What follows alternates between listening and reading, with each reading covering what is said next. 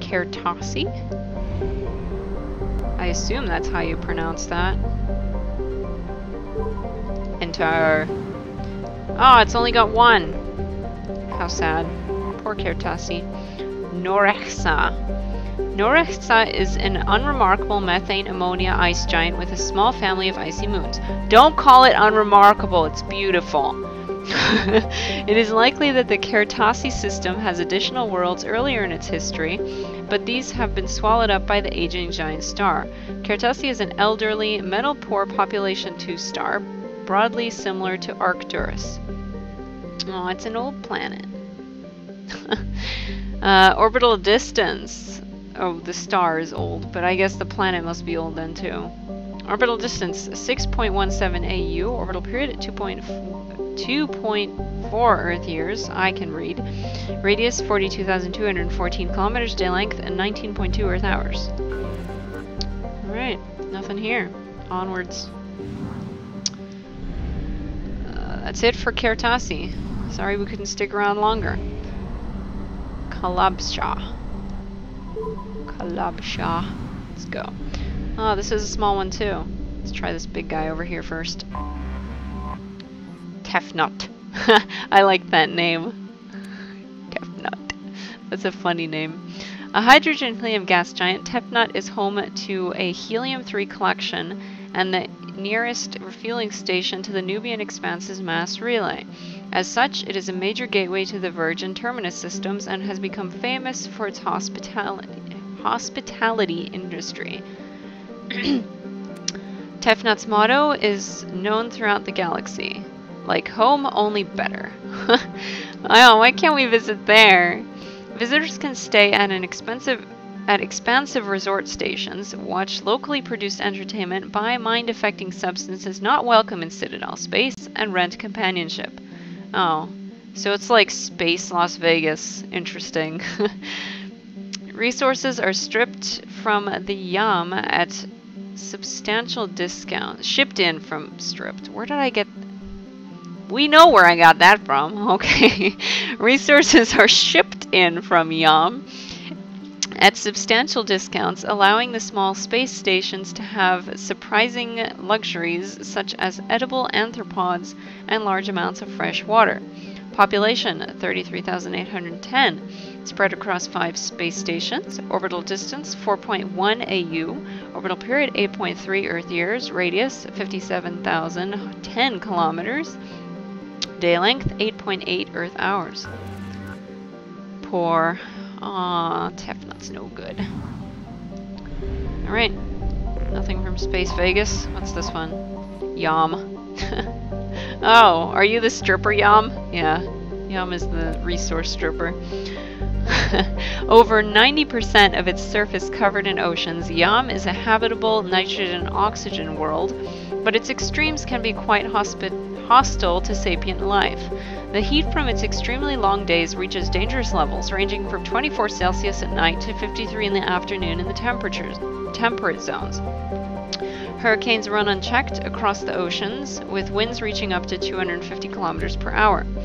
While there are some anthropod like animals, the predominant forms of life are various kinds of toxic algae blooms uh, that stretch hundreds of kilometers across. However, other biohydrocarbon algae blooms are suitable for use as biofuel, and farming the green gold forms the backbone of Yam's economy. Colony founded 2170 CE, population 488,504, capital New Karnak. Orbital distance 2.0 AU, orbital period at 2.8 Earth years, radius 6,501 kilometers, day length 69.6 Earth hours, atmosphere pressure 1.8 Earth atmospheres, surface temperature 34 Celsius in the temperate zone, and surface gravity at 1.1 G. Yam is moderate, so this system sucks too. We won't come here. Alright, is that it for the Nubian Expanse? That is. Man, we're just not finding anything. Just lots of systems with only like one or two planets in them. Alright, let's refuel. Buy fuel. And we'll go somewhere else. plot mass relay jump. What's this one? Hades Nexus. I'm sure there'll be something here. There has to be. This is the Hades Nexus. As I recall in the first game, everything happened in the Hades Nexus. Let's try this guy. Triodia. A moderately sized gas giant with an icy core, Triodia's hydrogen and methane atmosphere gives it its blue, a bluish color. It has 14 moons named after Asari virtues. Interesting. Alliance Bulletin. Geth have been encountered in the Hecate system. All civilian traffic is prohibited. Orbital distance 4.8 AU, orbital period 10.5 Earth years, radius 27,206 kilometers, day length 18.7 Earth hours. Sounds like we might be dealing with some Geth eventually in this area. Haven't seen Geth in a long time. Kerr. A dry, desolate planet, Kerr is temperate but supports little life above the microscopic level. Its Earth-like temperatures and gravity make it an appealing place to build habitation hideaways, attracting Batarian slavers and criminals who can't afford more luxurious safe houses on other planets. Its forgiving nitrogen-helium atmosphere makes EVAs possible with a minimal amount of equipment. A breathing mask and warm clothing is usually sufficient. Mining and other legitimate activities are few and far between on Kerr. The planet's crust is largely free of precious metals, instead producing kilometers upon kilometers of dolomitic limestone, calcite, and gypsum. Alliance Bulletin. Geth have been encountered in the Hecate system. All civilian traffic is prohibited. Orbital distance 2.2 AU. Orbital period 3.3 Earth years. I see we like the repeated numbers. Radius 6,420 kilometers. Day length, 61.7 Earth hours. Atmosphere pressure, 1.2 Earth atmosphere. Surface temperature, negative 4 Celsius. Surface gravity, 1.1 G. Oh, we got 1.1, 2.2, 3.3. Yay! Ooh, it's rich. What are you talking about? It doesn't have anything in the crust. It's rich. Uh, where's the last planet? I guess it's on this belt. Where's... Oh, there it is. I found you. What are you doing hiding back here? Bothros. A rock and ice planet, Bothros is home to a scientific curiosity. Evidence of a primate primate-like spacefaring civilization was found frozen in its equatorial ice, ranging from melted fragments of metal to preserved remains of the creatures still wearing suits for extravehicular activity. Interesting. Further exploration revealed that their habitation centers were vaporized by orbital bombardments from rail, railgun-like weapons hitting with a force of approximately 120 kilotons of TNT. Hmm, I wonder what that could have been. Only those that fled or happened to be away from the habitats were preserved in the ice, where they died of asphyxiation. This unknown species did not come from Asteria, but scientific teams are looking for evidence that they visited there. It is difficult to believe that they would colonize a frozen rock while like Both world frozen rock like Bothros and ignore a lush garden world. Their world their world of origin is also a mystery. I wonder what they look like. Can we get a picture? There should be like a little attachment with a picture. Alliance Bulletin, a Geth have been encountered in the Hecate system. All civilian traffic is prohibited. Orbital distance 8.5 AU, orbital period 24.8 Earth years, radius 7,191 kilometers, day length 51.0 Earth hours, atmosphere pressure trace, surface temperature negative 142 Celsius, and surface gravity 1.5 G. This one is also rich. Sounds like Hades Nexus is a good place to visit if we need supplies eventually. Alright, let's head to whichever one of these is closer. Pamyat. You are the winner. Enter. Alright, what you got for us, Pamyat? Anything in the belt? Aha, there is. Volkov. Whew! A dwarf planet, Volkov has a thick atmosphere of nitrogen and krypton. Home to a thriving iridium mining community, Volkov's reputation is summed up as rich but dangerous. Pirates often lurk behind Volkov's two moonlets, Zenevieza and Alenia, uh, and cripple freighters leaving the atmosphere. To make matters worse, Volkov sits on the Chazov belt, a field of asteroids and other small bodies, which leads to frequent meteor strikes on the planet.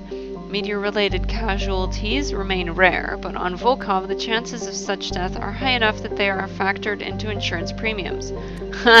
Interesting. Death by meteor strike.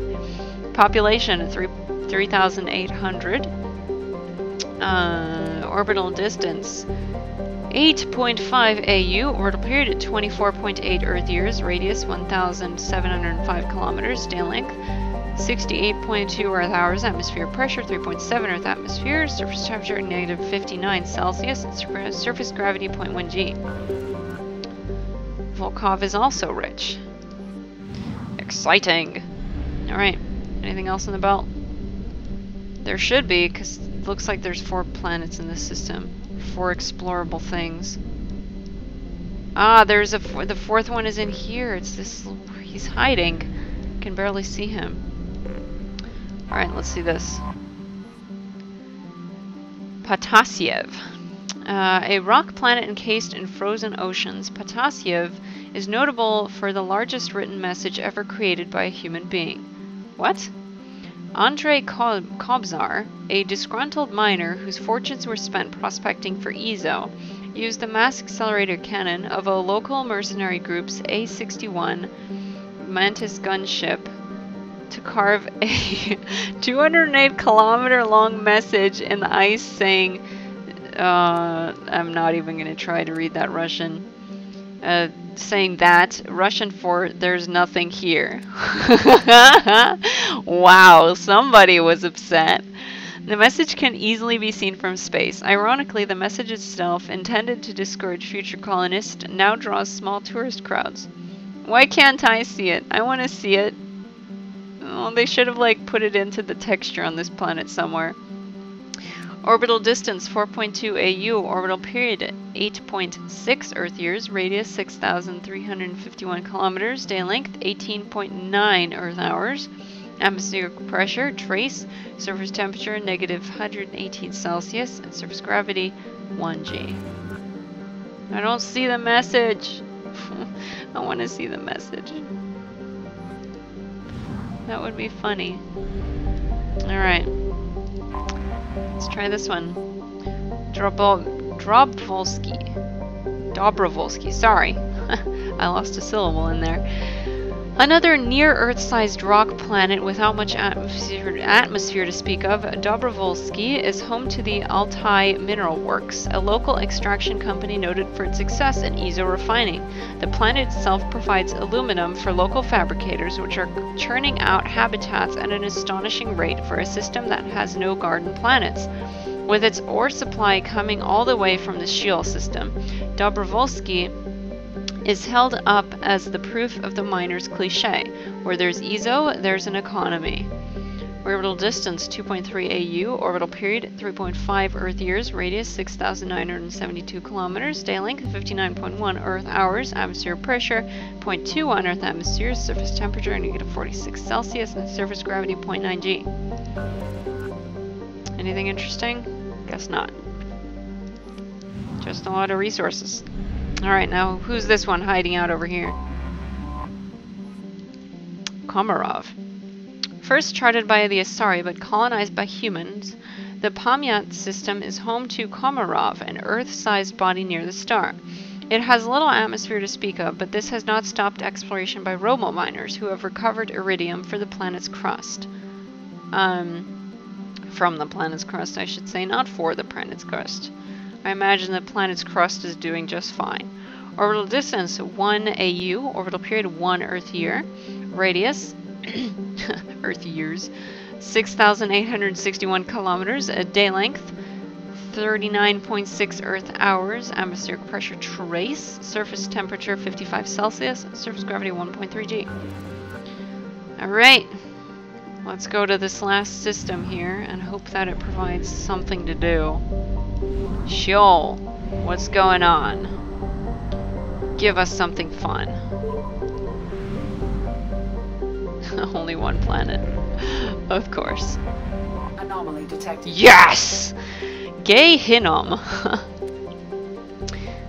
A near atmosphereless, tidally locked planet orbiting a red dwarf star, Gehinnom was the first place human explorers discovered a dedicated Prothean burial ground. While a few sites were saved for posterity, Eldfell Ashland Mining successfully lobbied to scout the rest of the planet for Element Zero and soon was embroiled in, the scan- in a scandal. Mining teams were looting grave sites, searching for Eezo and other treasures, and many got rich off of the so called cemetery business. While EAM officials brought uh, a stop to the looting, its mining teams remained on the planet, prospecting the unclaimed territory and taking their ore to the Pamyat system for refining. Travel advisory armed conflicts have broken out between miners and scientists staking claim to the Prothean ruins. Visitors are advised to employ security while exploring unknown regions of the planet. Population 11,503. Orbital distance 0.83 AU. Orbital period 0.8 Earth years. Radius 2,379 kilometers. Day length 0.8 Earth years, atmosphere pressure trace, surface temperature 35 Celsius, in the habitable zone, and 108 Celsius dash uh, or slash, I should say, negative 120 Celsius. sorry, Celsius in the uninhabitable zones. Surface gravity 0.1 G. All right, where's this distress signal? Ooh. Sounds like a Quarian. Sounds like a Quarian. Let's go find out what's going on. Something on our sensors. Anomaly detected. Surface scans show evidence of a shipwreck meeting Quarian design specifications. Ha, I was right. Identity of ship unknown. Number of life signs detected in vicinity uncertain. Local wildlife may interfere with accuracy of biological scan. Let's go find out what's going on. Alright, who we gonna take? So if local wildlife is the problem and not Geth, then Tali's not to be much use. And she got to play around a whole bunch last time with the mechs. So let's take Zaeed and we'll take, I think Mordin. Alright, let's do some stuff. I don't care what my equipment is. It should be fine. Aha! Varren. Great. My favorites. Alright, what do we I am got? detecting a single Quarian life sign in your location. Judging by the suit's erratic readings, the Quarian is badly injured. Ah, I'm Oh, great. detecting multiple native life signs near your landing site. Okay, so we've got an injured Quarian. And we assume need to rescue. And... Where are these personal logs? Oh, over there. I'm just trying not to trigger anything nasty just yet.